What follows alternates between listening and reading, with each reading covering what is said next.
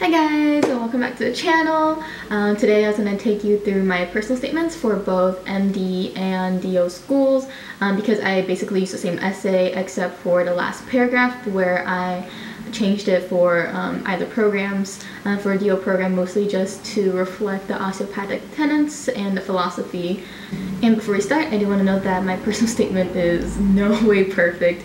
Um, I think I was reading it a couple weeks ago and I was like, wow, I kind of wish I changed that, but I do think that it added to my application and the strength of my application.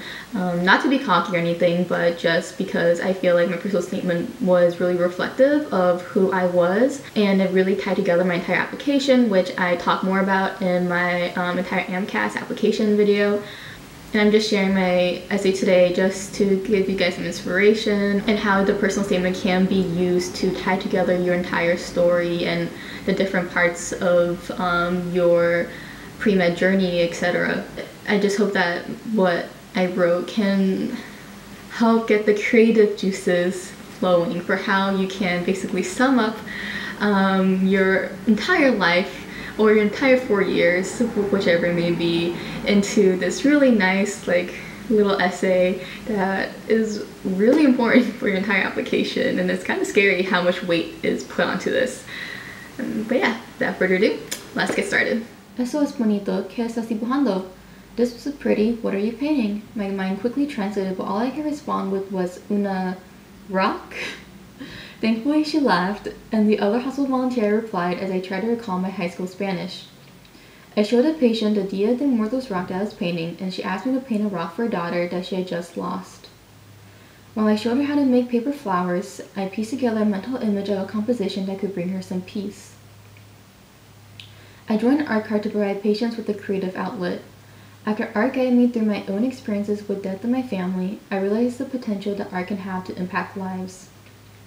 Growing up as a shy girl in a single parent household where I was often left home alone, art seemed like something selfish.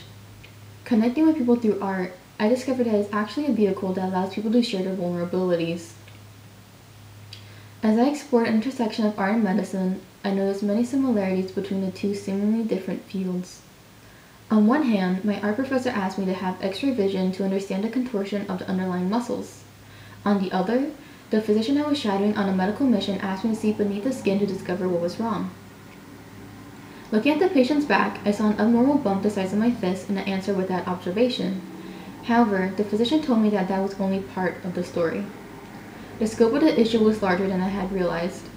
Because the rural areas in the Philippines do not have access to healthcare, he has to consider realistic post-surgical care while treating patients in addition to diagnosing the issue. As an artist, I know my art is shaped by my life experiences. I was short-sighted to not use X-ray vision to see what the human eye cannot.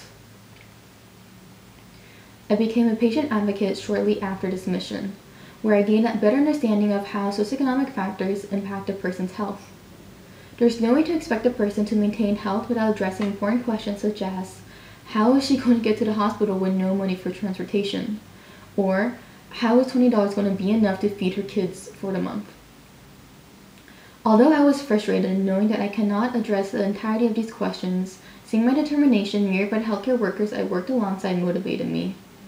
In examination rooms, I saw physicians actively seeking to build trust with their patients to provide a more holistic treatment that consider beyond the scientific diagnosis. Medicine, like art, allows people to share their vulnerabilities to paint a complete picture. Just as creating art and patient advocacy challenged me to explore new ideas and overcome obstacles, science did as well. While studying behavioral neuroscience and conducting research, I gained an appreciation for all the complicated interactions that happen within the body. As I investigated a potential biomarker of depression, I knew that it would only ever tell me part of the story. Medicine stands at the intersection of how interactions between biological and social effectors affect people. Medicine is so much more than a science. It is an art that extensively uses science. It draws on multiple systems of knowledge, not just on a molecular level, to understand health and illness. Physicians have the chance to understand and experience the entire spectrum of an individual's life and to be present at a person's most vulnerable state. They have the ability to combine all the understandings of what it means to be human to heal people. It is the most empathetic and interdisciplinary approach to humanity there is. I will continue to love using my hands to create art, especially if it can help others. But I want to help people in a way that only medicine can. Although challenging, the impact medicine can have on a person's life is immeasurable. I am to be a physician who seeks to understand people as more than just a pathology and to understand who they are in order to practice individualistic care. In fostering an understanding of a person that transcends cultural and socioeconomic barriers, I can help address systemic inequities in healthcare. Through my experiences, I know that I desire to approach a person's health in a holistic way that combines both the art and science of medicine. The end. um, and then for my DO application, I basically only changed um, two sentences in the last paragraph. Um, and so I'll just read it out loud for you guys to hear. I will continue to love using my hands to create art that helps others, but osteopathic medicine will teach me how to use my hands to heal the body and mind. Furthermore, the philosophy of osteopathic medicine aligns with how I want to practice medicine. I aim to be a physician who seeks to understand people as more than just a pathology and to practice individualistic care that focuses on the entire person. In fostering understanding of a person that transcends cultural and socioeconomic barriers, I can help address systemic inequities in healthcare. Through my experiences, I know that I desire to approach a person's health in a holistic way that combines both the art and science of medicine. The end, part two. and as you can tell from my personal statements, it didn't go into like my entire life story or I discovered medicine doing this or I first got interested in medicine because of X, Y, and Z. Uh, my personal statement was very much just one part of the story because I like I said in my other video, I wanted to curate my entire application, which includes my personal statement. And so I feel like it wouldn't have been as strong as an essay if I actually just share like my entire story of like why I want to do medicine and what was my first look into medicine, how did I get interested in it, etc. I do see a lot of people who also write about that, but I personally did not have like that one specific moment where I was like, yes, this is what I want to do, um, etc.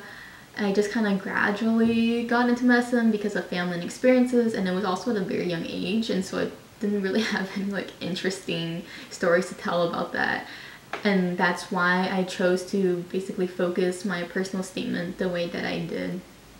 So I guess it's just like one example of how you can write a personal statement even if you don't have like that one super meaningful moment that some other people have. And I hope that some of you guys found this video useful. If you did, I would really appreciate if you give it a thumbs up. Um, please leave a comment down below on any other type of video that you would like to see from me. Um, I'm not quite sure what other parts of my pre-med journey um, is of interest to people, so um, if there is anything, if you have any questions, um, please leave a comment down below. If you ever need someone to talk to or to connect with, um, I'll also leave my Instagram down below so you guys can go have me as someone to talk to if you really want, I guess.